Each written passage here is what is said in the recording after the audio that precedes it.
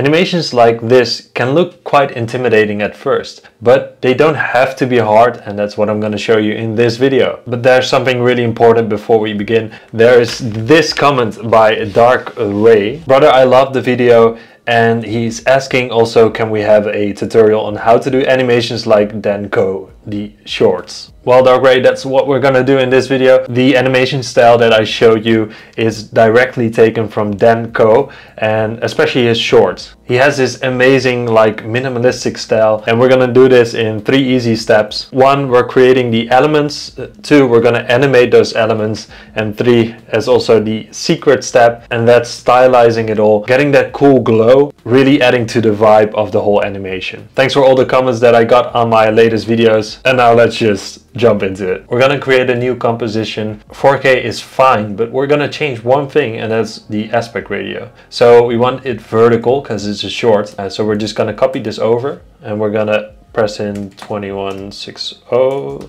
and then paste the uh, width. We're gonna change the duration to around 16 seconds. And now we have a nice vertical composition. Now for the example, I actually imported it. So again, all credits go to Dan Koe. What we see is a first a flashing circle that turns into multiple circles. It goes back to a small circle and then some icons around it. Now I won't have time to put everything in this video. So please, if you see some specific effects or some specific things, just let me know in the comments. Just the time code is fine. But let's just get started. So we're gonna create the uh, layers first. We're gonna create a new circle. So what you can do is go to the ellipse tool by holding, uh, holding down your mouse on the rectangle tool. We're gonna have a fill for the moment. We're gonna create it white and we're gonna have a stroke. We're gonna make this white too. And we'll make the stroke, for example, like 15, I would say. We always need to see a bit on what it would look like. I think this should be fine, but we can always change it later.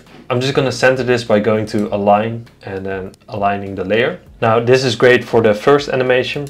Now before we duplicate this, we need to make sure the anchor point is in the center. I'm gonna do this by using the pan behind tool. We're, we can move this now and when we hold command, we can center it. now we duplicate this layer. We're gonna scale it down, I would say to uh, like a small, small circle. We're gonna turn the bottom one off and now we're gonna open this layer and we're gonna open the contents, open the ellipse, and then you'll see the fill. We're going to turn the fill off. This is great. Now what we see is that the stroke is a bit too small. So we can always change the stroke width here. So for example, we change it to 20 or maybe a bit more, maybe even 30 and we'll zoom out and I like this. Now we have one circle all alone in our composition and we want to make it a happy place. We want to make it more cozy and make him have more friends. So we're gonna duplicate this and this is a really boring job. Um, so I'm gonna skip most of the part, but I'll show you how to do it. So basically what you just do is press command on Mac or control D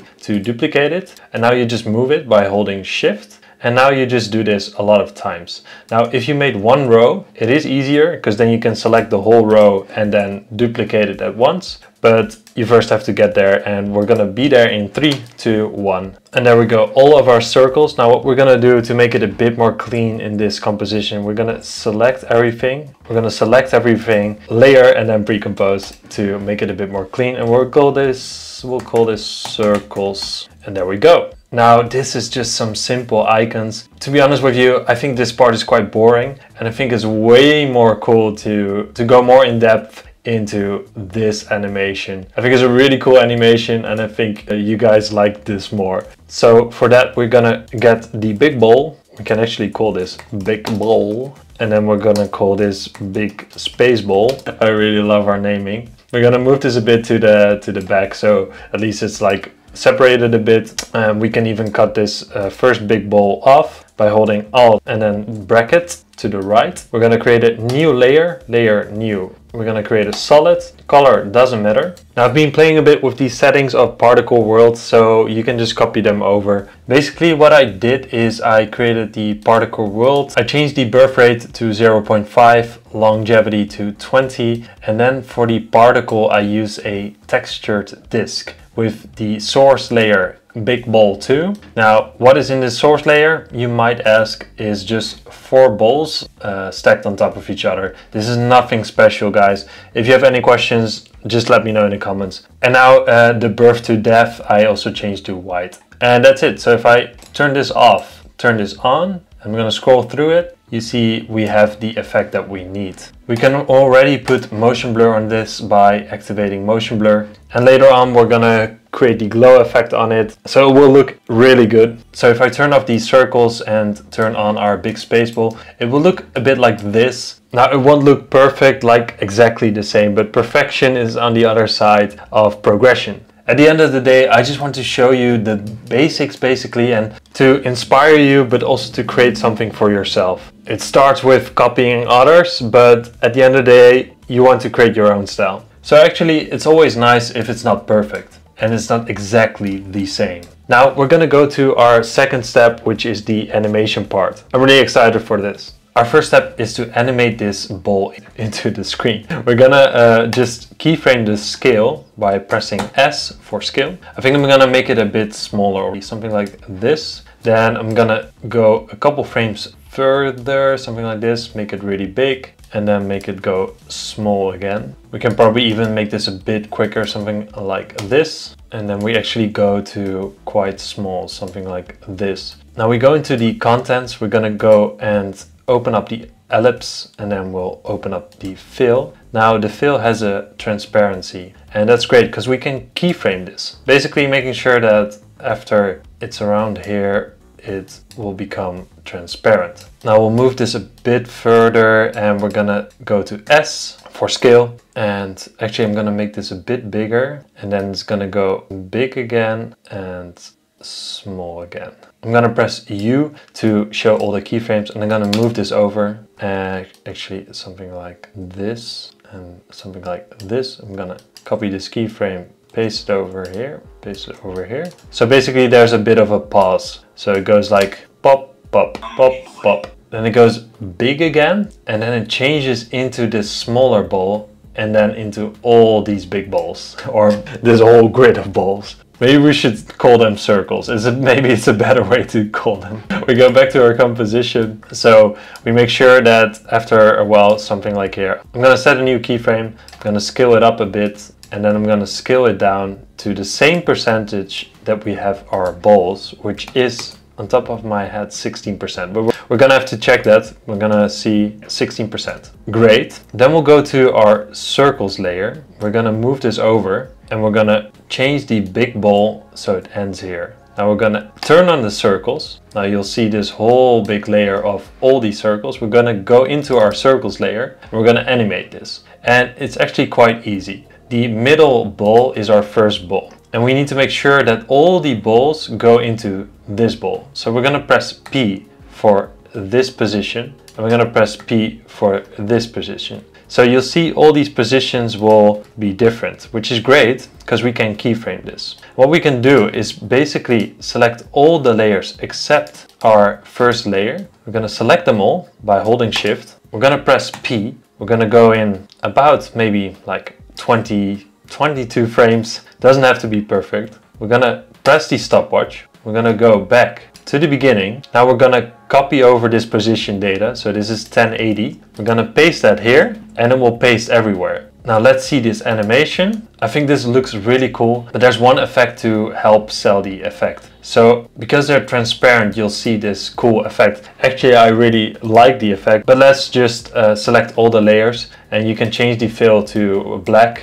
it will lag. Then it's time for a big stretch while it's waiting. And then we press OK. Now we'll preview our animation and it looks almost exactly the same as the uh, original animation. I think in our example it actually goes a bit quicker so we can still select the uh, keyframes a bit quicker like this. We go back to our layers and then we're just gonna cut this off because we're gonna skip this part and then uh, the last part is with the big ball so we're going to turn the big ball on and we're going to turn the uh, particles on. We're going to move these, uh, I mean the big space ball. I'm going to move this particle layer to the end, something like here. Now there's a really cool like halo effect around it and it's really easy to do this effect. What you can do is just duplicate this layer. We're going to remove the fill, so turn it off. We're gonna create the stroke uh, to be around maybe like 50, I would say. We're gonna press on for scale. We're gonna scale it down a bit. Gonna move it under the layer and we're gonna scale it up after a while. Like for example, here from here, we'll move it up like here. Then we'll press T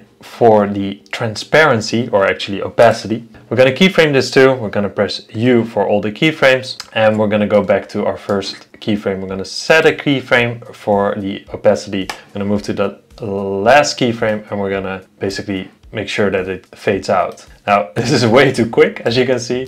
can move it a bit, something like this. And then it's like a smooth fade. Now we can even fade this layer in too, something like this. And then we'll go to the last step. And in this step, I'll show you the secret step or the secret trick that he uses in every video to make it uh, really beautiful, like create a nice vibe and that's a glow. And for the glow, we use the glow effect. So we're gonna put the glow effect, for example, on our first animation on the big ball. And it's actually quite easy. So there's already a small glow, as you can see. Um, we're gonna change the glow colors to A and B colors. We're gonna change the color B to white. We're gonna change the glow radius and we're gonna change the glow intensity. Not too much, I would say 1.5, something like that. And that looks already really cool. You could increase the uh, glow intensity or even the radius a bit. Um, I think in the effect it's, it's quite heavy. It would be around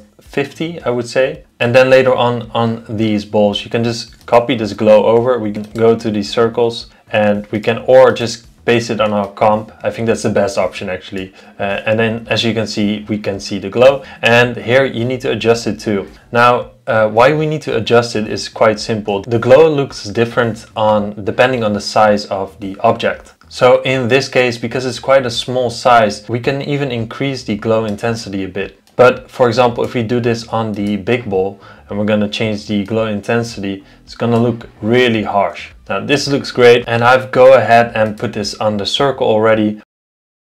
The big space ball and as you can see there's a glow effect on this too. And on our last layer we're gonna paste it to on our particles. And again we probably need to change the radius a bit to I would say maybe 30 or maybe even 20 and maybe the glow intensity to I would say quite high actually I like the glow radius quite high too something like 50 now you will have something that will look like this. Please keep the comments coming because I love to hear your feedback. But also if you see some cool creators that you want to have tutorials on, do let me know. Because I love creating these videos for you guys. Don't forget to subscribe and then I'll see you next time.